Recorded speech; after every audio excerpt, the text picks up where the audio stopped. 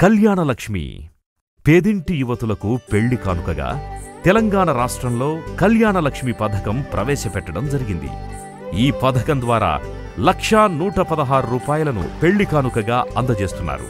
ఈ పథకం ద్వారా ఏడు వందల ఇరవై ఒకటి మందికి ఐదు కోట్ల యాభై లక్షల ఎనభై నాలుగు వేల ఎనిమిది వందల రూపాయలు నిడమనూరు మండలంలో అందించడం జరిగింది. అదేవిధంగా పేదింటి మైనారిటీ యువతులకు లక్షా నూట పదహారు రూపాయలు పెళ్ళి కానుకగా నిడమనూరు మండలంలో ముప్పై ఏడు మందికి ముప్పై రెండు లక్షల యాభై తొమ్మిది వేల ఐదు వందల తొంభై ఆరు రూపాయలు అందజేయడం జరిగింది. నోముల నరసింహయ్య గారి ఆశయ సాధకుడు నాగార్జున సాగర్ నియోజకవర్గ టిఆర్ఎస్ పార్టీ ఎమ్మెల్యే అభ్యర్థి నోముల భగత్ కుమార్ గారి కారు గుర్తుకే ఓటేద్దాం.